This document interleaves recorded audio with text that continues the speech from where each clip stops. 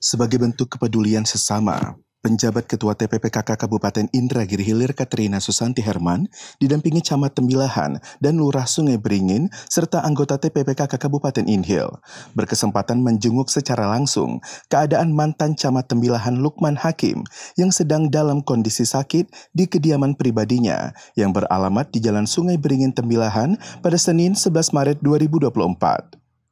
Kedatangan penjabat Ketua TPPKK Inhil bersama rombongan tersebut untuk memberikan motivasi kepada beliau agar terus bersemangat dan mendoakan agar diberi kesembuhan dari penyakitnya. Pada kesempatan tersebut, Katrina Susanti Herman yang juga merupakan bunda PAUD Inhil itu pun sampaikan permintaan maafnya mengingat bulan Ramadan yang sudah di depan mata. Randi Pradika, Rian Hidayat melaporkan untuk Gemilang Televisi.